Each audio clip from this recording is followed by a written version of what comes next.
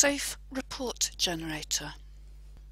SAFE allows you to generate reports on the usage of Archer, either as a whole, for an individual project, or for an individual user. Log into SAFE and under Service Information, choose Report Generator. You'll see a menu of available reports. For example, the Archer Service Report will give a report for the whole of the use of the service.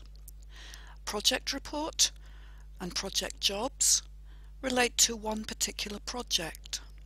The Group Report and Group Jobs covers a project subgroup.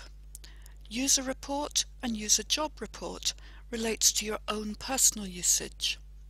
And the Monthly Report is the report on the overall use of the service as published each month on the Archer website. Each of these reports is available in four optional formats, either displayed in your web browser as an HTML report, as a generated Adobe PDF document, as a generated CSV spreadsheet report which could be opened in a spreadsheet package, or as an XML report.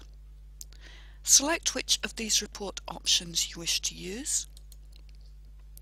Then select the time period that you wish the report to cover. Click on Generate Report and the report will be displayed.